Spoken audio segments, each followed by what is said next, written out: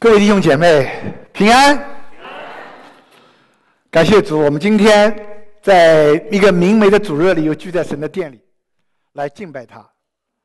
今天是我们二月的最后一个主日，在我们教会里面，往往把最后一个主日把它指定为叫做福音主日。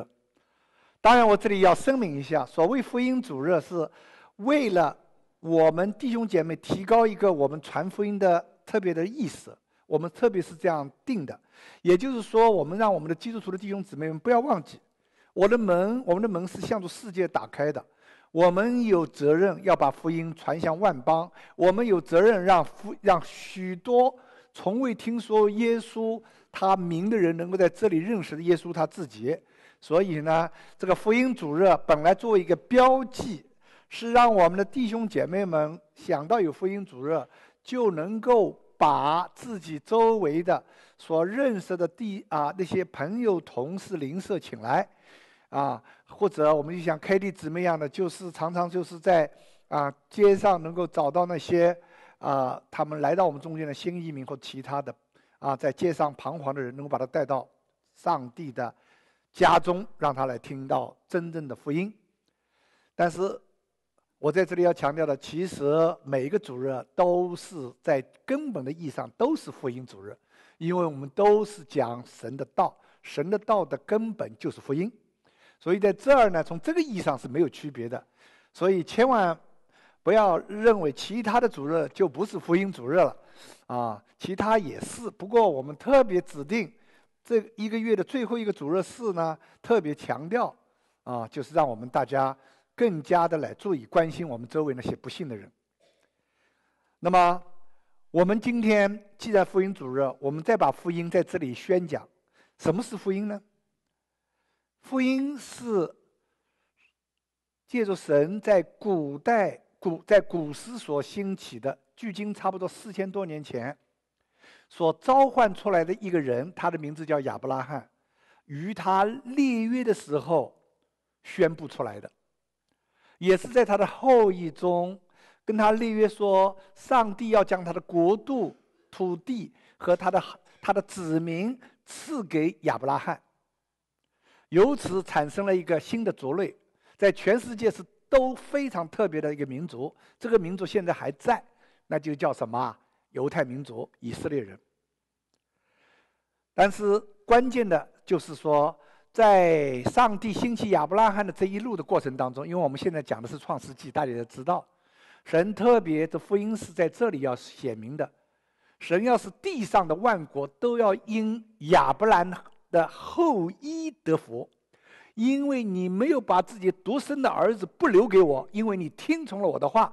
大家都知道，我们这是信物之家最近在查考的，因为亚伯拉罕在这里面显出这样的信心。是认是说神真正要求跟随他的百姓所有的信心的时候，神就借着他的这在这信心中看见，神将来有一天也预备要把他自己的独生爱子赐给他所要拣选的百姓，所以在末世，在亚伯兰的后裔当中，有一位就是神他自己的儿子，道成肉身降世为人，来到世上。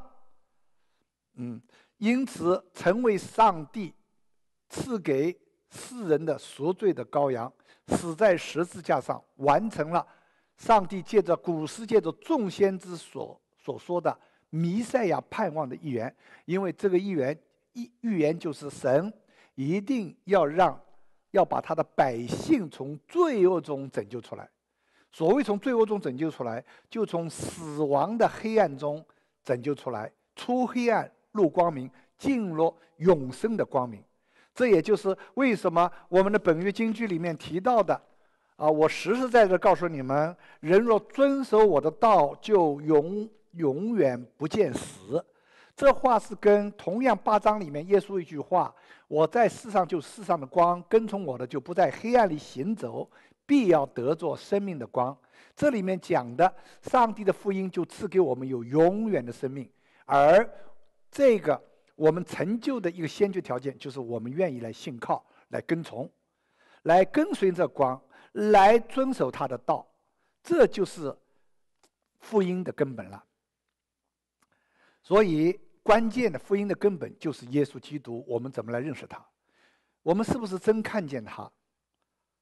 他是神荣耀的所发的光辉，是上帝本体的真相呢？因为在旧约里面、十诫里面，神严严的警告以色列人不可雕刻任何偶像，来表达，甚至说表达他们所信的耶和华神。因为耶和华神的本体的真相是要在耶稣到来的时候才显现给我们。因为从来没有人见过神，只有父怀里的独生子将他显明出来，所以我们认识我们的上帝是借助他的爱子耶稣基督来认识的。我们能够信他。啊，特别提到了，就是哥林多后书保罗所说的，就是我们信他是因为那丰富光从黑暗里照出来的神，啊，所以上帝差遣了爱子到了世间，就像从光从黑暗里照了出来，那出于真光的真光来到我们当中。已经照在我们心里，叫我们得知神荣耀的光显在耶稣基督的面上。所以得救的关键在于我们是否认识他，耶稣他是谁，他到底为我们做了什么，他在上帝的整个启示的救恩当中是一个什么样的角色，起了什么样的作用。所以传福音就是传耶稣基督，让我们能够认识他。这就也就如。哥林多后书说的是要不谬讲神的真理，只是将真理表明出来，好在神面前把自己鉴于个人的良心。所以把自己鉴于个人良心，就是用神真理的光启动我们人心中的良知，使我们心灵为之开眼，能认出他是谁。同样，保罗说：“如果我们的福音蒙蔽，啊，福音就是。”好像就是既是磐石，让我们能建立在上面，同时也是绊脚石，让我们很多人听了以后就绊倒。啊，他们不信，就是因为他们，他们说的，怎么有这样的福音？怎么会神会告诉我们这样的事情，来表明是神是存在的？他原来是要来用这种方法让我们知道呢？啊，世人自以为自己的聪明，那就是瞎了他们的眼。所以在这里，保罗说。如果被蒙蔽的话，就是蒙蔽在灭亡的人身上。此等不幸之人，被这世界的神弄瞎了心眼，不叫基督荣耀福音的光照着他们。所以这里面呢，一个真正人刚硬的人，不信的人的最主要不能信，因为他里面，他里面的黑暗太重，他只是固执在自己待在这个世界的那个所谓的神里面。被世界的神弄瞎了心眼，这世界的神是什么呢？啊，就是肉体的情欲、眼目的情欲和什么精神的骄傲，由此产生了大大小小的偶像，对不对？你如果是肉体的情欲，你就是以在这个世上啊来吃呃吃喝玩乐作为自己人生的目标，这就是肉体的情欲。眼目的情欲是贪得无厌，要占有，在世上各种各样的有了还要有，要贪，那要控制，要得。精神的骄傲呢，就专门愿意觉得自己是世界上很了不起的人，自己在世上是是救主，自己要要在这里要去听从那些高大上的所谓的学说主义理论，来满足自己有远大的理想。但是这个里面是没有神的同在的，是人的自己的骄傲里面构出来的各种主义。不管这种主义是科学主义也好，是共产主义也好，还是什么呃这种民族主义也好、爱国主义也好，都成为我们的偶像，啊，让我们去以为为他奋斗，以是这样子，我们就可以超凡脱俗了，这样就有伟大的所谓革命理想情操了。这都是实际上都是世界的神，不过就在三个方面满足人自己，不需要神来满足自己，来高举自己的愿望。都是以自己为中心的，这就是所谓世界的神，就是来满足适合我们这三大愿望的各种各样的偶像。所以这些偶像在的话，我们就无法来认识耶稣基督。所以呢，认识耶稣基督，必须把这些偶像全破除，否则我们就不能认识。上一个主日我们传讲了耶稣是如何让一个生来就是瞎眼的人重新得着光明的事。这是一个了不起的神迹，这是主耶稣在约翰福音里面所行的又一件神节，是七个神节之一。因为在这个神节里，主要是借此宣告耶稣所说的“他就是世界的光”这一真理。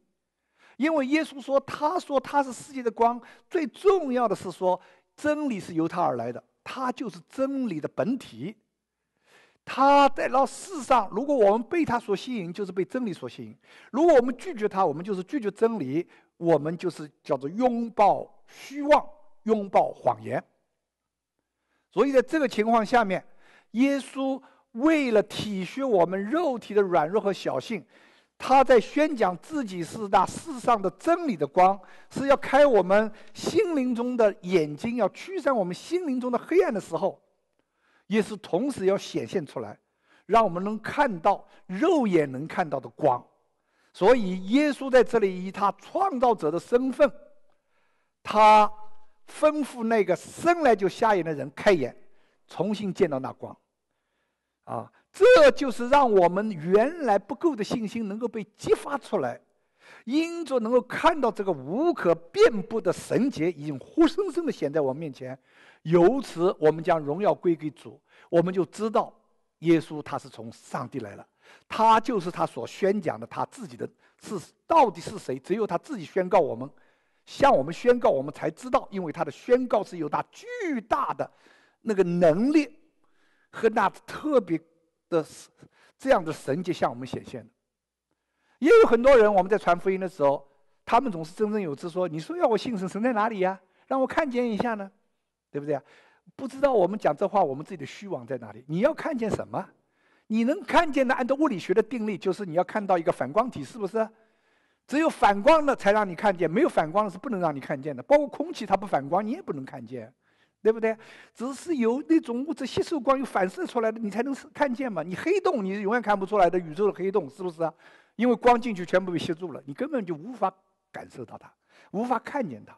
所以我们如果说不能看见，你肉眼不能看见，你就不信吗？那么上帝的神迹，你信不信呢？那么，那么在这里，当福音的道耶稣第一次出来的时候，为了让世人知道这些写在福音书上面都是所言不虚，字字都是有完完全全的真实的凭据在这儿的时候，所以当时耶稣就显出他的大能来，让我们就看着他自己能够所做的事。照理。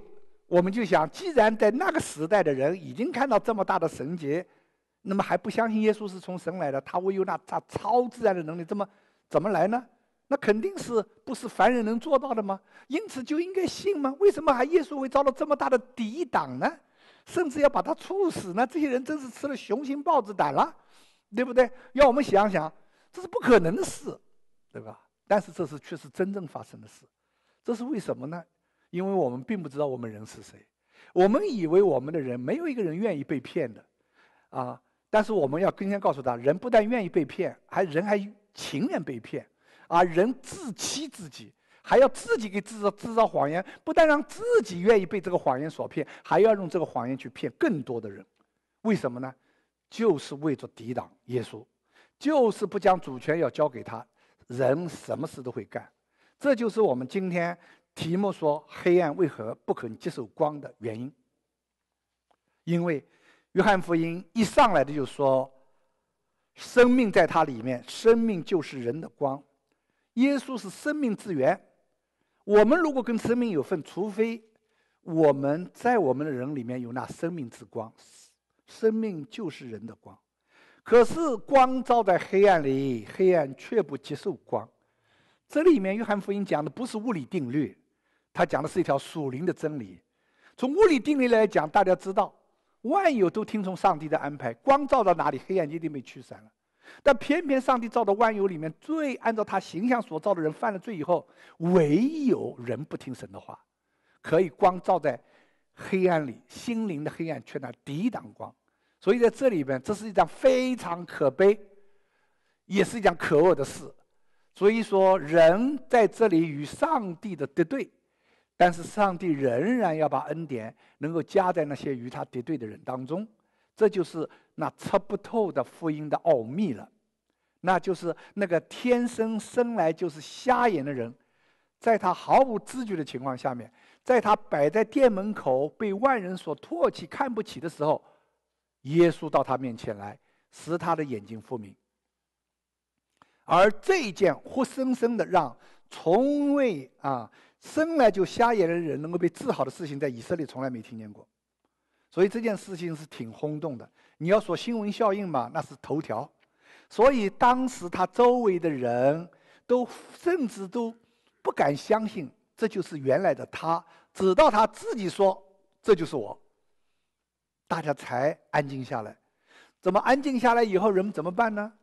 人们就想，这事从来没听说过，因为犹犹太人是信神的，他们觉得这件事既然是一件大神就临到他们中间，他们就需要找这个当时他当时社会当中的宗教权威。来给他们提供意见，到底这是怎么回事？这就来到了本章我们九章里面讲的十三节，他们把从前瞎眼的人带到法利赛人那里。他为什么带到法利赛人那里呢？法利赛人是那边那时候的新学的老师啊，所以有关属灵的问题要请教了，只能找法利赛人。所以法利赛人垄断了对圣经的解释权，所以他们到那里是讨教。希望能够从此啊，从中呃来知道如何看待这个神节，啊，如何看待这个被上帝啊被这个神节医好的天生的瞎子。也可以说，他们本来并没有恶意，要对这个被被开眼的瞎子，但是这里事情麻烦来了，可能这些灵舍都没想到，这就是十四节讲的。耶稣和你开他眼睛的日子是安息日。哇，这下子犹太人得知这一点呢就高兴了。啊，犹太人正愁找不到把柄去攻击耶稣，因为他们现在是千方百计的要抵制耶稣的影响力，所以在这里面终于给他们看到了一条可以放在台面上的一个理由了。啊，因为安息日按照他们的理解。在摩西世界里讲的理解，合工都不可做。这个合工，啊，在他们里面就演绎出几表几百条的这种说法，啊，我上次说过了，你连提一件衣服从楼上走下来都不行，那是做做都在这都是做事了。你怎么办呢？你非要提下来就穿上去，然后穿好又走下来再脱下来，啊，你这个就不是做工了，这是你是这生活啊，你要穿衣或者那个脱衣，而是这样的，你提它是不行的。所以大家知道，在约翰福音第五章里面，耶稣在毕士大这个池子边上治好一个三十八年的瘫子的时候，那个瘫子被耶稣吩咐了起来，拿起你的弱子走吧。他一提弱子，哦，这下子，当时法利赛人的宗教警察眼目是很亮的，像城管一样的啊，一下就看见了，那不得了啊！你居然在安息日的地方时候怎么样啊？你劳动啊，你好提弱子走吗？那你是在劳动，你是搬运搬运工啊，你是做搬运事情，那这就是一个，这是他们的理解不可做工的事情。所以当时他们就就围攻了耶稣。所以我们知道，整个约翰福音到第五章是个转折点，就是敌敌意法利赛人的对耶稣的敌意，就是第五章，因为看到耶稣居然在安息日那天他一病，所以要定他罪了。因为法利赛人在他们条规里面说，除非这个病是你不救他就要死的病，你如果这个是救可以免免掉，不算啊，你是违反安息日。只要这个病你当时不救他，当天不死的，你去救了他，你去医了他，你也就犯了安息日的规条，因为你你在安息日居然医病，啊，这就是法利赛人。所以呢，在这个情况下面，法利赛人还进一步的去打听你是怎么医的，要取得更多证据的时候，他们居然也得到了啊他们所要的。为什么呢？因为法利赛人问啊那个问他是怎么能够看见的，就像瞎子打听这个从前的瞎子打听，你到底怎么看见的呢？那瞎子他说的非常言语非常简洁啊。就这么两句话就把这个事情讲得清楚了。最重要，瞎子表明了，神迹确然是确实是发生的，神迹是耶稣所做的，他表明就这么简单。这个人，啊，他把泥抹在我的眼睛上，他把泥抹在我的眼睛上啊！摸泥呀，这泥怎么来的？是调的啊！调泥摸泥那是做工的事情啊，那又是做工了啊！摸在眼睛上面啊，我去洗了就看见了啊！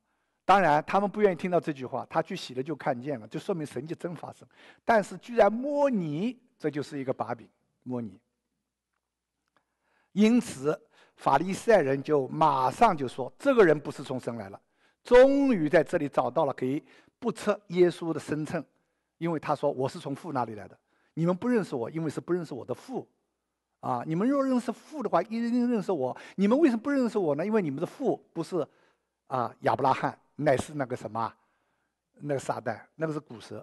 你为什么？你们说的是谎言，你们信的也是谎言。因为撒旦本是撒谎的，而且他是所有撒谎人之父。请注意啊，这个神节就是针对着。不光是讲真理和谬误，真理相对的是真实，谬误相对的是虚假。现在就围绕着这个神节，到底是怎么样进行的，到底发生没发生，就发生了这么一场特别的，这么一场来面对的这么一件事情，来看出谁的信是虚妄的，谁是怕面对真实的。这就是让我们今天来看到。所以法利赛人马上就可以说，这个人不是从神来的。为什么呢？因为他不守安息日。我们的弟兄姐妹们，我们一听以后就想：哎呦，耶稣你怎么了？上次你那个医那个人，你七天里面有六天可做，你偏偏在六天里都不做，你就选一个什么安息日去给他医病，结果惹了这一大堆麻烦，惹了一身骚。碰到这种情况，你要吃一堑长一智啊，对不对？你下次怎么这次疫病了，怎么又碰到？这个七天当中有六天不用，你就偏偏用这一天呢？当然，疫病是好事，也是行善。那么放在其他六天做就没有争议了吗？法利赛人也也就不会对你这么样仇视了，是不是？那你不就是自找的吗？你把自己放在了法利赛人的对立面，这哪能像你自己所教导说门徒要什么灵巧像蛇？你自己的本身不灵巧，是不是啊？在我们看来，啊，这是我们我们自己的一厢情愿。不要忘记，耶稣说：“我来到这世上，我只是要完成那差我来者的什么旨意。我是顺从那差我来旨意，我要做成他要我所做的功。”那就知道了，原来在安息日做这事是上帝父的旨意，做儿子是绝对顺服的。这里面你要想想，为什么耶稣就一而再、再而三的挑战犹太人的这种关于安息日的这种。他们自以为是从摩西那里得来的律法观念呢？因为正是这条观念，他们让他们自己感到自己特权在握，他们以为他们在遵循神的话，实际他们是扭曲了神的话，以扭曲了神的话的形式来控制他底下所要控制的百姓，这跟上帝所设立安息日的旨意是完全相反。上帝设立安息日是让百姓在犯罪的过程当中，从那些你要就是汗流满面才能糊口的艰巨的劳动当中回归安息，有一天作为象征，虽然在最终，但是上帝给你有盼望。这一天你在地上演练是为着进入永久的安息做预备的，那全是为着人的缘故，为着人能够真正的能够在上帝里面能够得着真正的平安、安息和盼望。可是犹太人在这里把整个安息日守安息日做得非常的恐怖，成为了做成了很多的条规束缚，很多把本来上帝要给人给予自由的，让我们能回归神，而不要被世俗的劳动或者什么世俗的世界的忧虑给捆绑的，它变成了你生活当中你动辄得救的一个捆绑，甚至连做善事都不可以。这不是摩西原来颁布这个安息日的这个意意思，圣经里从来没有这样记载过。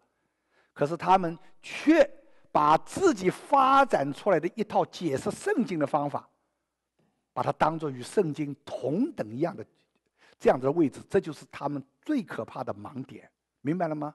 所以，我们今天我们说，我们要回归圣经，就是要把握全本圣经的经义，它的纯真和全备性。而我们在这里，我们所做的任何的神学功夫，都是仆人的功夫，都是要忠于他的主人，就是上帝的启示。从来不能把自己的神学和教育的发展看成是绝对的，只有上帝的启示是绝对的。所以在这里面，法利赛人是高举他们传统当中的一套条规，而这套条规，他在这里居然跟上帝的话语真正的启示相对抗，这才是神眼中极大的犯罪。所以耶稣在这里真正的是要对抗的，也就是说，真正的犯了安息日的人，就是这批口口声声要遵守安息日的人，这就是世人的虚妄。但是耶稣在这里继续做，就是表明，真的神的道是要勇敢的传出来的，永远不是看环境，永远不是要看世人的眼色，不是说环境一收紧了，情况一不对头了，我们赶快改换腔调，我们赶快改换做法。圣经里每次遇到环境紧张的时候，反过来都是要来我们呼叫我们的神，让我们能够刚强壮胆，放胆讲神的道。神的道，因为这个光是绝对不能让黑暗所胜过。啊，黑暗可以不接受光，但黑暗休想能够吞噬光、扑灭光，这是不可能的事情。这就是耶稣在这里特别要提到的。他在这里面，他把自己引到了所谓的这个所谓这些法利赛人的一个仇恨的当中。啊，因为本来他们就是要仇恨，所以这一点耶稣不怕。耶稣不怕。那么，耶稣他是在这里，他是说到了这个把柄，所以他们法利赛人，他们得出结论：既犯了安息日，就是个罪人，所以绝不会是从神来的。他们以为这下子拿到了，啊，他们就可以笃定下这个结论了吗？但是他们要下这个结论的时候，毕竟他们当中的有些法利赛人还是感到有点心中有点不安。啊，有点 uncomfortable，所以有些法利赛人就这么说了，啊，怎么说呢？又有人说，一个罪人怎能行这样的神迹呢？他们就起了纷争。原来这批法利赛人也有他的道理的，你就不能说，因为他违反了安息日，他就一定是罪人吗？当然，违反安息日一定是罪人。关键的问题就是说，他是不是真的违反了？本来上帝的光照给我们开眼，让我们知道，我们认为违反是。我们的理解错了，真正违反是我们自己，是我们曲解了神的意思，对不对？所以在这儿的话呢，可是真的是让我们如果自啊固步自封的人认为，我这个是坚持当时摩西的律法，啊摩西的律法，这是不可变。但是你怎么解释呢？如果他不是从神来的，怎么能行出这样的神迹来呢？这话怎么说呢？因为大家知道尼哥尼哥底母是法利赛人中的一位，是不是啊？地位相当高的，他是晚上来见耶稣的时候，就对耶稣说：“父子啊，他说我知道你是从神那里来的。”哎，怎么知道呢？因为他下面的话就说了：“因为你所行的神迹，若没有神的同在，无人能行。”啊，你说从理智的 sharp 上面讲，这个理智的分辨来讲，尼哥底母是第一把手，他是很聪明的，他知道。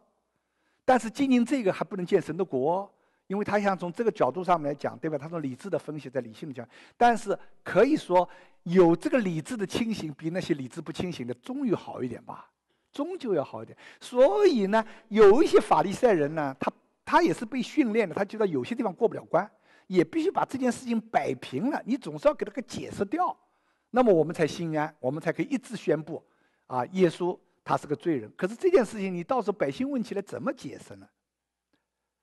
对吧？当然，这里面我们就看到了，好像我们大家在我们信友堂也听说，对不对？我们说我们我们看事情，我们是靠站在神的话语上的，我们不是靠经历，我们是靠神的话语。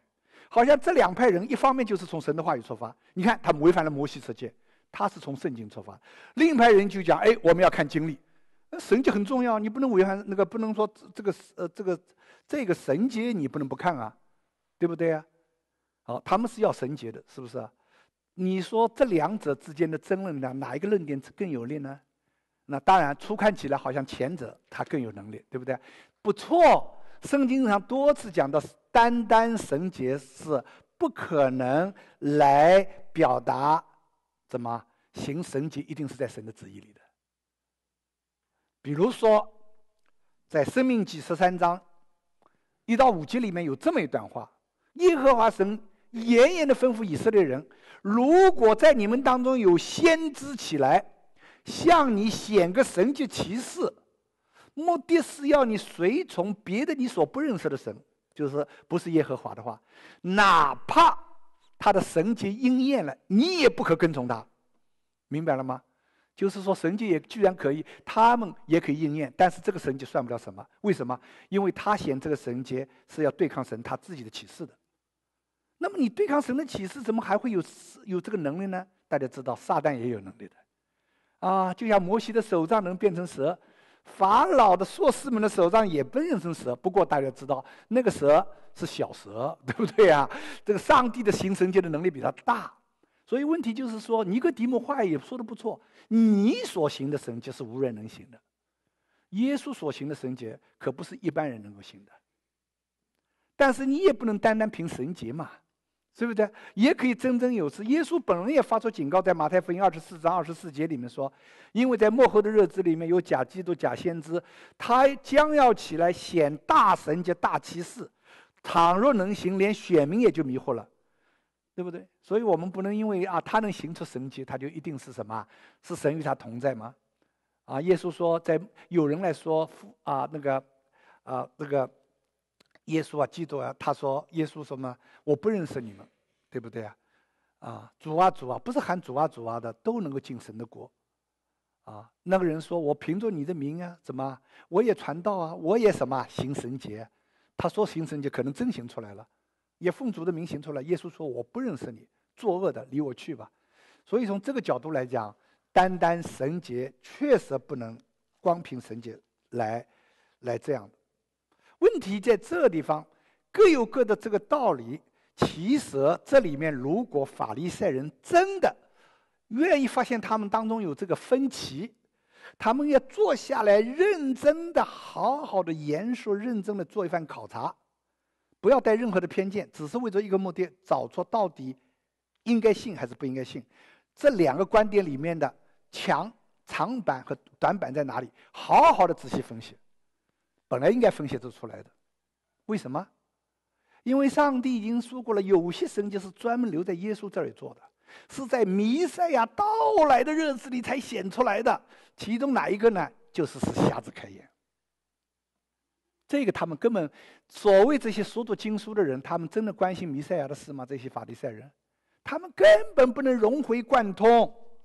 其实，在以赛亚书里面已经。有三个地方提到，比如说以赛亚书二十九章十八节、三十五章第五节、四十二章第七节，都是提到到那个时候，就是弥赛亚到那个主耶主耶和华的那个日子最后到来，拯救的日子到来以后怎么样呢？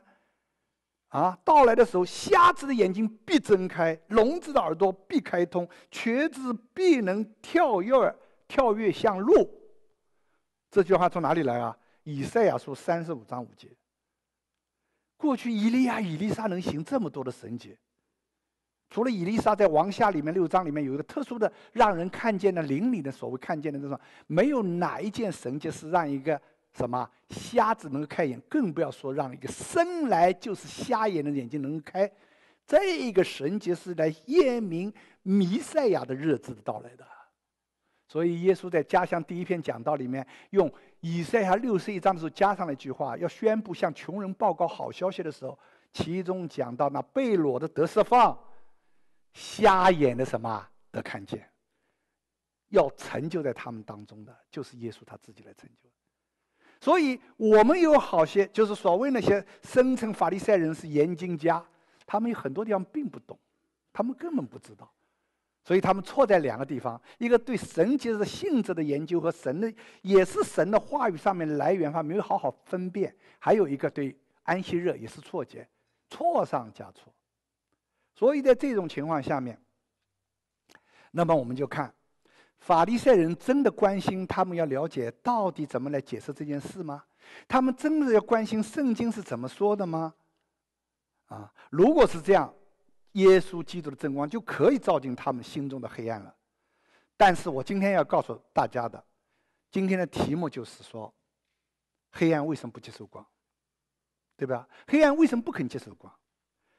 这里面就说明那些黑暗的本身，比他口口声声法利赛人很注重什么圣经的，他其实根本不关心真理的事。他们更要关心的不是和真理和谬误的分辨，而真理和谬误的分辨又离不开对事实的确认，是虚假的事情还是真实的事情，这个是一息息相关的。要知道，这个约翰福音九章，那时候我在 UBC 那时候念神学办查经班，就引起了我特别注意。因为我要跟中国大陆学生传福音的时候，我要告诉大家，很多中国大陆人他讲，我要重的是证据和事实。我我之所以不能信，因为我没看到证据和事实。你们信的往往好像是不要证据事实就一厢情愿就信了，其实事情恰好相反。真正要信的人，他绝对不怕做事实的验证的。只有那不信的人才会。不惜手段的来篡改事实、抵赖事实，睁着眼不看事实，或者事实说心不能被挡住的时候，要改变事实，要得出来的不可避免的结论。这就是整个法利赛人要做的事情。为什么呢？因为这如果他们害怕耶稣真的行了这样的神迹，这个事实被确认，而且引导出了结果，他真是从神来的话。那么他们就糟了，因为耶稣就明明的批评他们，他们一定要危害到他们在世上的尊严、权柄和他们由此带来的一切的既得利益。因为法利赛人之所以在犹太人面前能够这么样作威作福，因为犹太人认为他们是怎么样啊？只有他们才能解释上帝的话语，他们是摆出这么一副架势的，而耶稣的征战就是。摧毁他们的这个假面具是他们虚妄的，啊，他们比那些所谓的税吏和妓女离上帝更远。为什么呢？因为税吏和妓女至少他们都知道他们是罪人，这一点他们是知道的。他们干了一件干的都是在当地在人民人们当中是容不下的事情，他们深知这一点。而法利赛人的骄傲就认为他们干的是替天行道的事。这里面就是一个大大的盲点，所以在这里，他们在这个地方呢，他们又不想让他知让大家知道他真的是不在乎，所以他装作一件他们也关心到底事实是怎么样的，所以他们也主张我们不妨可以做个调查，他们要测试一下，啊，他们他们希望在调查当中啊，能不能收到有利于他们的证据。如果有凡是说不利他们的证据呢，他们能够可可被压下去；如果压不下去，能不能重新解释掉？这就是他们所有的他们的心里的想法，明白吗？在这里，我们就来看，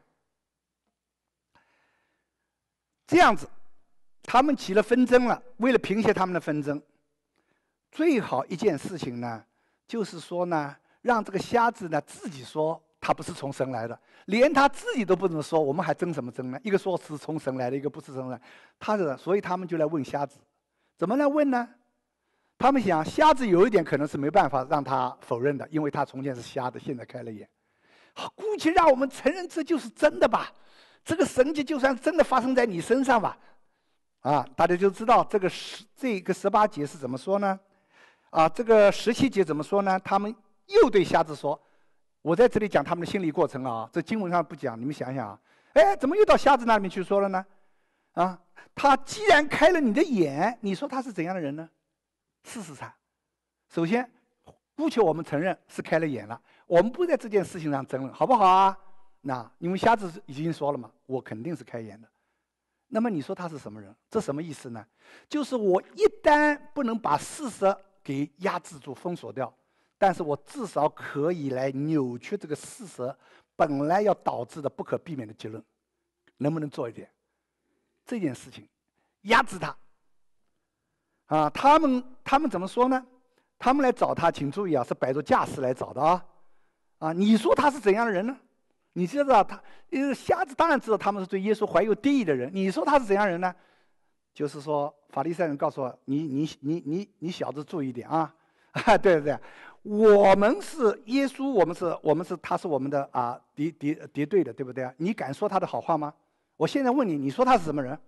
就算他是做了，如果瞎子一看这个情况不对啊，嘿，其实他算不了什么人，关我什么事啊？我只要眼睛好了就好了，我才不管他是什么人了。那这个是最好的了，对不对？人只要有利益，在利益背后什么这个真理啊，什么什么呃感恩事情都不做，我才不管了，是不是什么人？你们自己说什么人就什么人了，干我何事啊？我不过是小民百姓一个，你们不就是老师和权威吗？那他这样讲也是顺理成章啊，他把这个皮球踢过去啊，他也可以什么样啊？不去说是也不是，至少他良心上没有那么重负吧？他至少可以避免嘛。但是他在这里却说了一句，让法利赛人想不到，他居然勇敢。这个瞎子怎么会这么勇敢？这个乞丐，这被人边缘被人随便打耳光、踢脚的一个人，今天你眼睛一睁开，你就这么神奇了啊？我们这批人站在你面前，你竟然怎么样？我们眼睛瞪着你都不，你你你都你都不当一回事吗？结果瞎子说什么呢？瞎子就这么说，他说四个先知，就这么简单，四个先知。不能说瞎子的认识就一步到位了。其实耶稣远不只是个先知，但是说他是先知，一定要有非常巨大的勇气的。因为表明是先知就好了，就神与他同在，他是从神那里来的，凡先知都是从神那里来的，那好了吗？犹太人有什么好争呢？我这个灵当事人我都这么说了，对不对？四个先知，他是照着正确的方向走了关键的一步，这就是以后这个瞎子能够得救的根本原因，因为他在这里面有他真的勇气在这里，他不愿意抹掉自己的良心，他应该说这话。结果你知道吗？一说说了这话，不得了了，事情又打回原形，你看。本来都承认了，你说他是他是已经依了你，结果你就你说是先知，对不对啊？或者说依了也没什么关系了，做这个神迹有什么关系啊？谁都可以做，张三李四你们爱做就做了，哎，这样子话也没事，对吧？随便你怎么解释，千万不要说他是先知，一说他是先知，那我们是谁呀？那我们就是被先知斥责的一群什么假冒伪善的人了，我们就要我就要下台了喽。那是绝对不能发生的事情，你就知道了吧？这个抵挡是因为人的切身利益，每个人不承认、不想信耶稣，都不想放弃自己的主导权，明白了吗？哪怕你就是一个普通的人，你说我有什么权啊？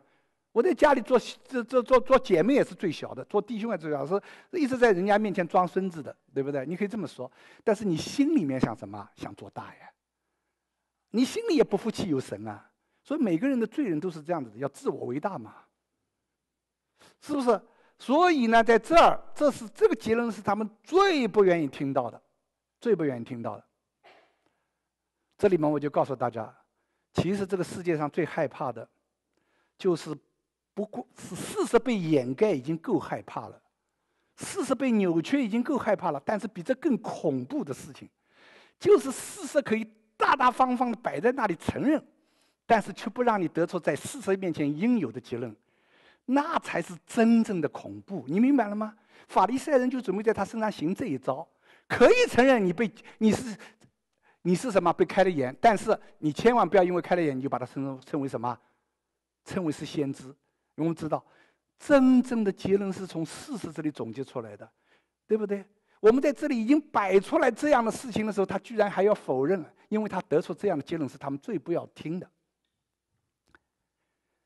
他们在这个时候才重新要回到市场上去，他们就十八节就说了，十八节怎么说啊？犹太人不信他从前是瞎眼的，后来能看见了，等到叫了他的父母来，什么意思呢？没办法，本来想承认你做了这事，没想到做了，你一承认你做事，你就得出这个我们最不要听的结论，我们就想办法把你的事实怎么，把你事实打成谎言。你是作假，然后我就审判你。你原来做假见证来说作假，然后你就没办法就把你的影响力给消除掉，明白了吗？我今天刚刚讲的就是最可怕的，就是要掩盖事实。但是法利赛人知道这个事实掩盖不了了，那怎么办呢？对不对？如果在现在有的时候简单，你既然这样说，把你把你抓进去，一顿酷刑，让你在电视台里面讲我都错了，那那你就就可以了，嗯，对不对？那现在知道，当时他们还没有这么无耻。还没有这么无耻，对不对？但是我要知道，比如说，我告诉你，让我过去，我讲一个我心里痛苦的事情，好吗？过去我，我过去我年幼的时候，我一知道，哦，那是被党教育啊，党啊是真诚伟大，要我们勇敢诚实，要做共产主义接班人，一切都是正能量向上的。最后我也是当时一看，当时的宪法，文革以前那个时候还没有，像宪法上面说，比如说啊，人人有什么信仰的自由，哎，我说人人有信仰自由，那就是你又不信共产主义的自由了。哇哦，这这不得了了！你你你讲什么话？我说这个圣经上面是啊，不是你的宪法上这样讲了。这时候一群人就讲：“你可千万不能把它当真啊！你怎么把中华人民共和国宪法你当真了啊？我把它当真，我那就我不信任自己的政府，那不是更可怕吗？我就是反对政府了，我一定要相信政府啊！政府一定讲讲，一定是当真的。你知道最后的解释是什么？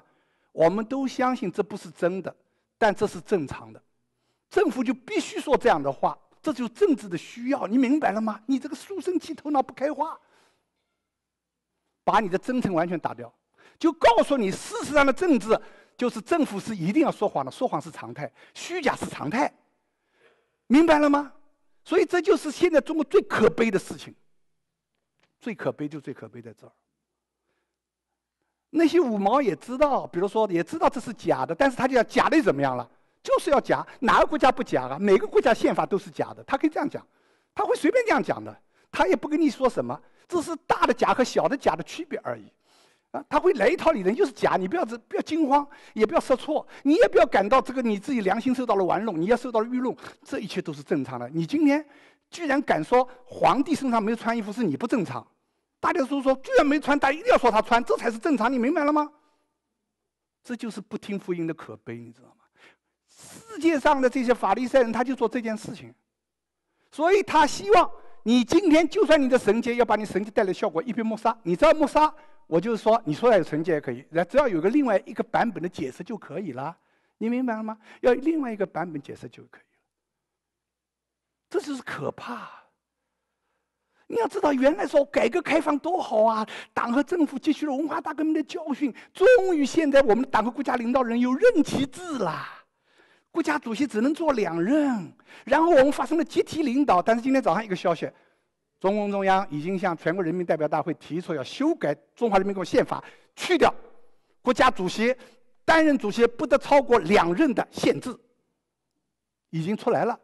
如果过一一两年前，如果你说话，那你向党和国家政府你污蔑攻击，怎么可以这样子呢？你不可以这样污蔑攻击吧？现在他自己都这样做了，叫你们无语啊！对不对？但是你要你要有既得利益上，你翻过去也可以说，本来你可以歌颂多么伟大的改革啊，党啊，你们要有信心。你看党自己做的很好，你现在翻过来一样，这是必须的，因为全国人民早就盼望这一天了。你都可以说，这是大快人心的事啊！党就需要有坚强的领导啊，就永远领导下去。革命领袖就要鞠躬尽瘁啊，就怎么样怎么样啊，死而后已啊，你都可以说出一大道理由了吗？对吧？这就是人心的可悲，你知道吗？法利赛人就是用这个方法来玩弄这个百姓，控制在他的运动量。可是哪里有基督灵，哪里有得自由。在基督灵上，我们就说坚决认证是谎言、虚假是最不可能容忍的事情。可是我们中国现在已经习惯了虚假和谎言，这才是最可怕的事情。当事实不能掩盖的时候，就用一套另外一套理论来做做决定。所以在这儿已经讲得非常清楚，啊，啊，我入荣耀啊，在在这个地方啊，呃，他们就开始就觉得不能够把他的嘴封起来，怎么办呢？就想办法把他的见证变成虚假。他们要去问，为什么到第十八节突然就说，耶稣在不信他从前是瞎，后来能看见呢？他本人不是自己亲自做了见证，你不信他，你还信谁呀？哎，他们忽然居然会挖出一条想法：这个瞎子别以为他说的是真的，他说他从小就是瞎的，生来就是瞎的，是你要问问看他，他从婴儿从从母亲母腹里出来的时候，他有没有记忆啊？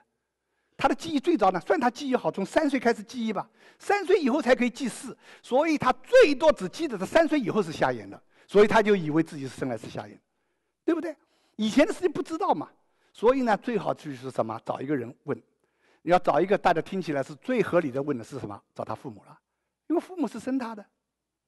你要知道，去问他父母，这法利赛人这方面马上就高兴了，因为有文章可做。他们去找父母，这个架势上面没有说啊，这父母没见过大世面啊，因为是瞎子的，可能没什么特权吧。一群法利赛人就把他找来，叫来喝茶了啊，跑到那个这个或者是他的那个呃办公室里面。哦，一般人都吓死了，对不对啊？马上就问他，怎么问啊？你说怎么问啊？他说：“这是你们的儿子吗？”首先认了，这个人是你们的儿子吗？先问他是不是？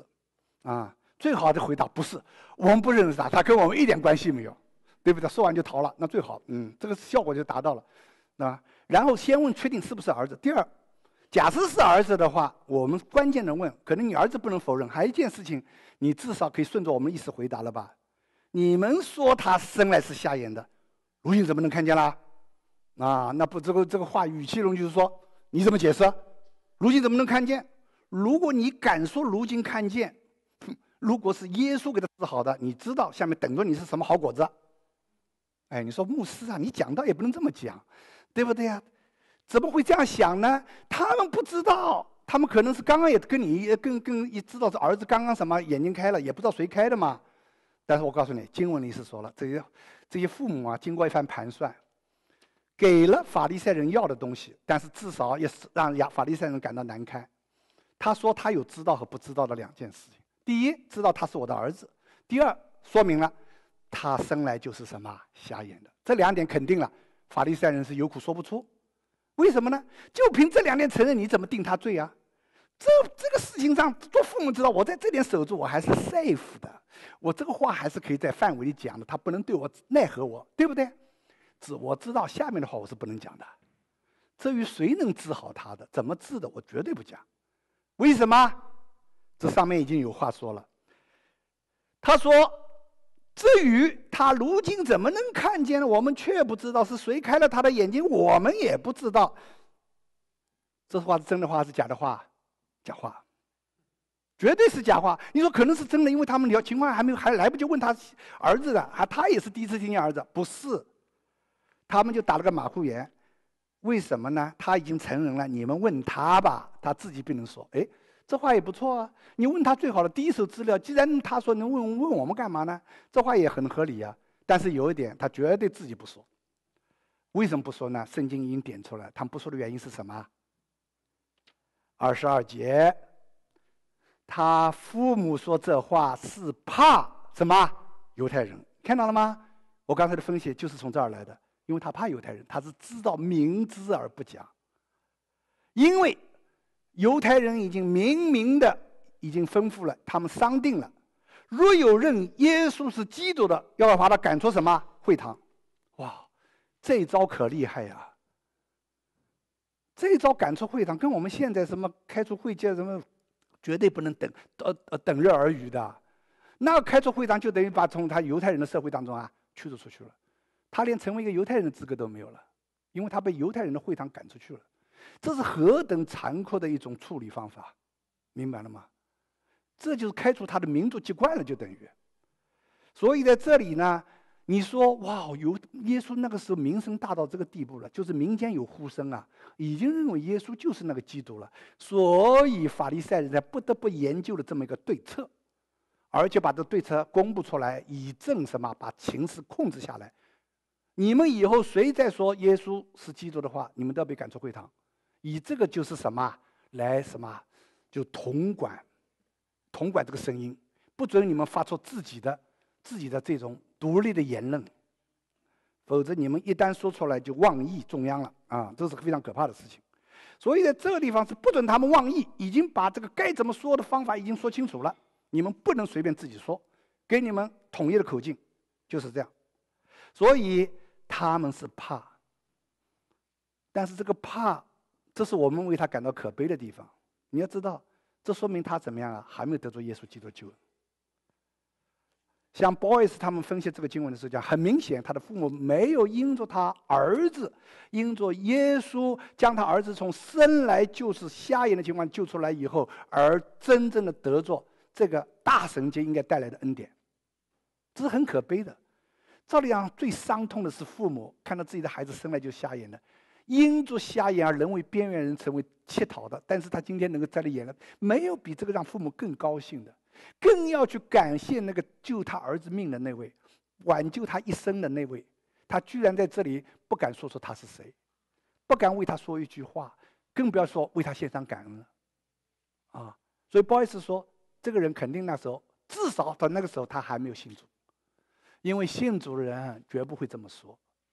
为什么？因为耶稣说：“若有人在人前不认我，我在我的父面前什么也不认他。”做基督徒没办法，你这个见证非得做的，你没有办法，你再没有退无可退了。你不能因为逼迫一来以后，你就害怕的把知道的装作说不知道，你不敢为耶稣基督做见证。你既然不敢敢为耶稣基督在人前做见证，为何耶稣基督在父前认你呢？明白吗？这就是为什么马丁路德他说，他在这个当时的神圣罗马帝国的皇帝面前能够这么说：我如果你今天要我收回我的言论的话，我这样做既不正正确，也不安全。不是说吗？当时的人都听傻了。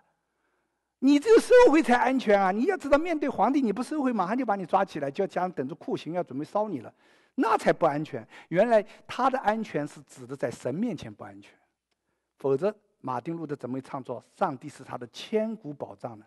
他要的保障是千古的保障，他不要一时一地的保障。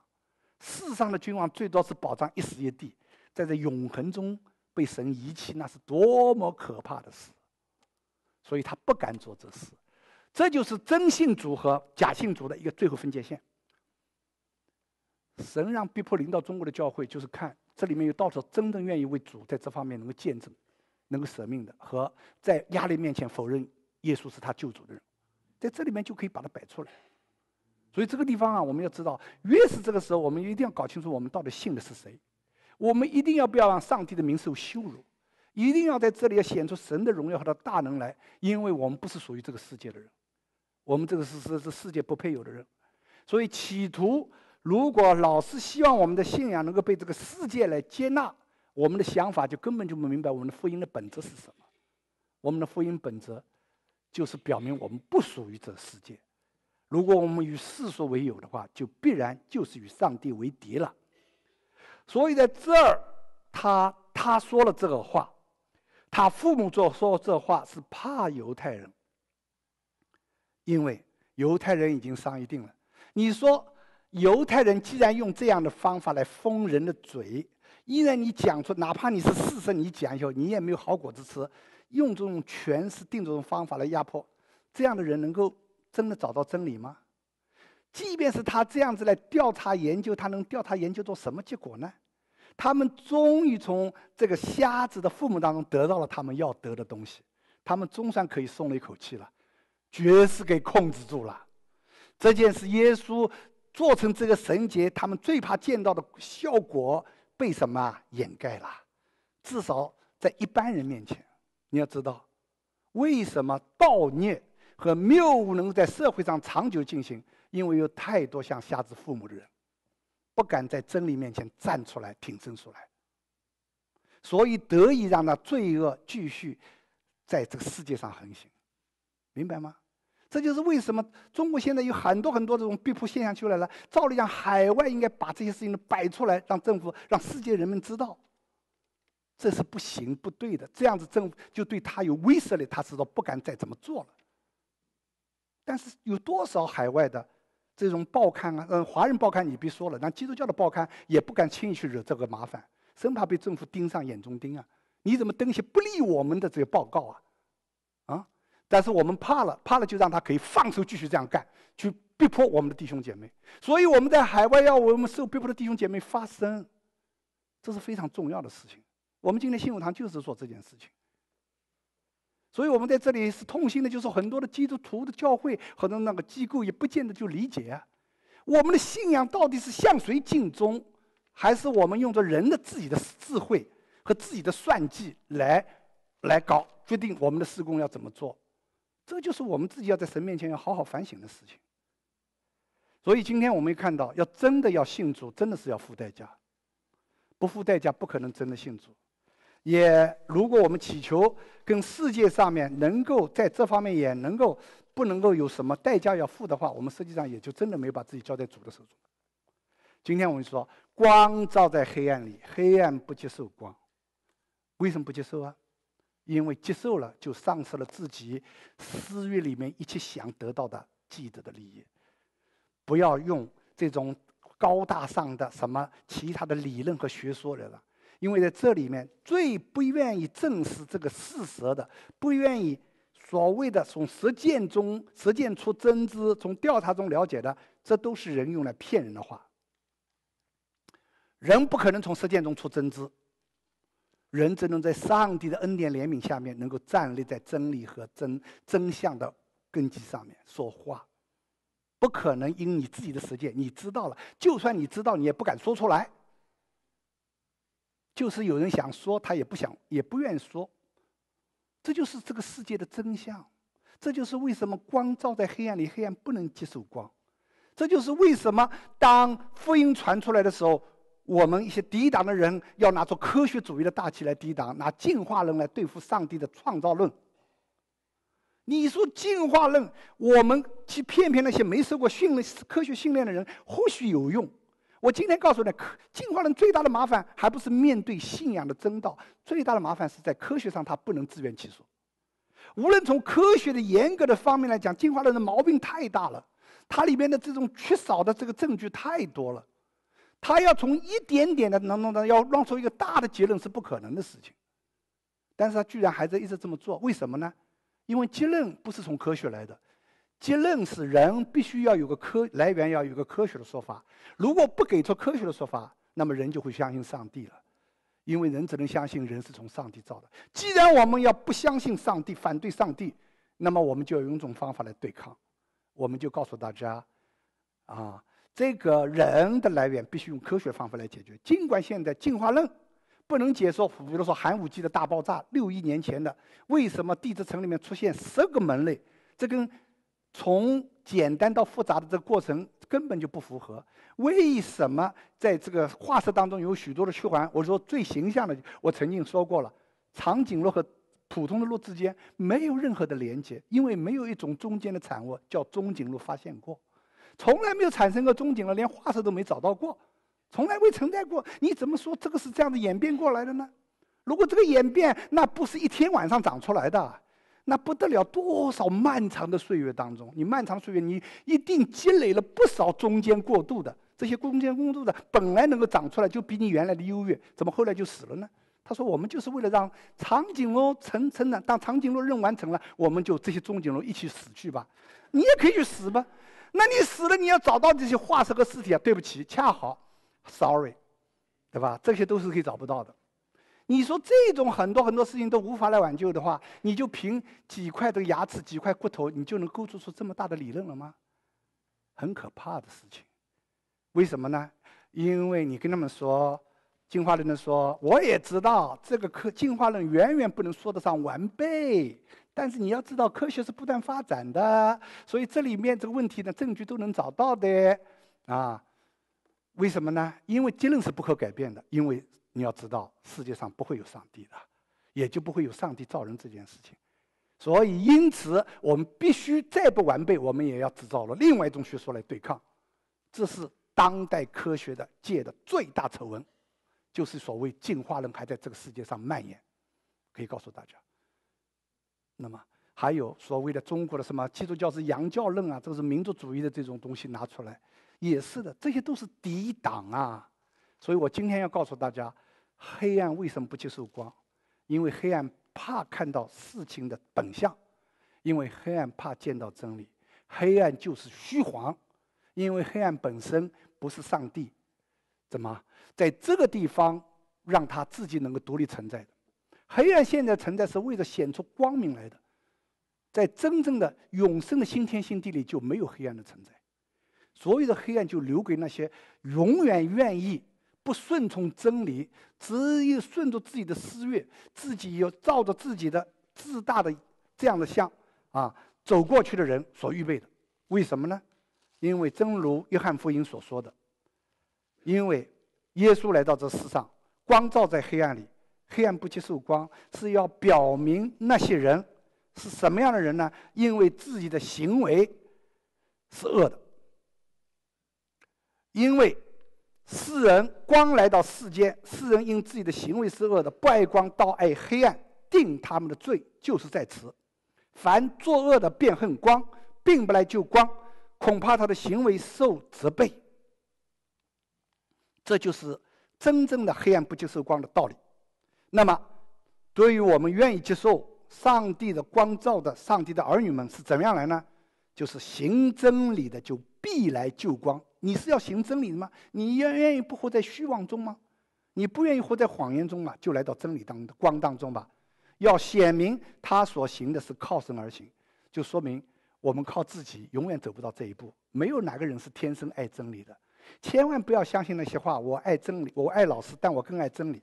啊，这些就是说亚里士多德讲的，只是在某种范围里有效，但是属神的真理面前，他永远不能自己看见，也不能自己寻找的，因为圣经说的对。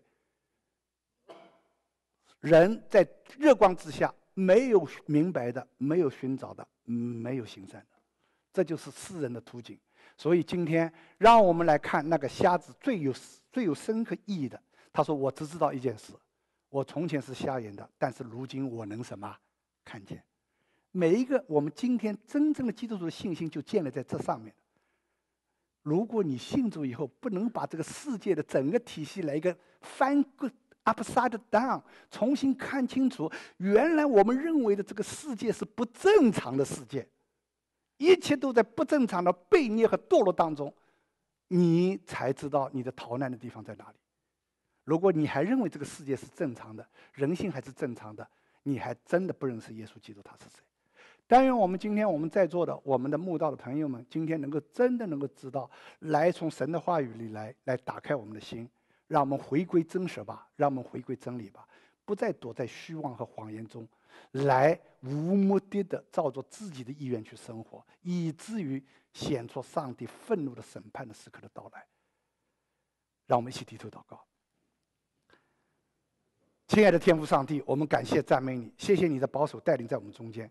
主啊，谢谢你在今天借助你自己在两千多年行出了一件的神节，而且借助这神节以后发生的后续的这个效果里面所追踪的事，让我们一步步来到你面前，来知道世人为什么要抵挡你真光的进入，才知道我们的世人原本是这样的，完全是非理性的，完全是。荒唐的、荒谬的，完全是自我中心到一个地步。本来可以看见，都竟然在你面前一概都瞎了眼，可以睁眼不看事实。即便事实铁证如山摆在面前，还想扭曲事实所带来的意义，达到能够维持自己原来在这个世界上面的原有的一切的自己的私利。主啊，求你怜悯我们。求你怜悯我们在座的，因为我们每一个人都在信以前一定有心灵的挣扎，因为没有哪一个罪人愿意自己放下自己的主权，将主权交在你的恩手带领下，唯有你自己的圣灵才能做这样的工，在人不能，在神就行。主啊，我们在这里切切的求告你，你自己知足，你的圣灵进入到我们那些刚硬的、坚固的心灵当中，打开我们的心门，让我们能够把一切自高自大、自以为意的东西。都在你圣经真光的检验下面，一样一每一样都放下来归顺给你，主啊，谢谢你，听我们的祷告，奉耶稣基督名求，阿门。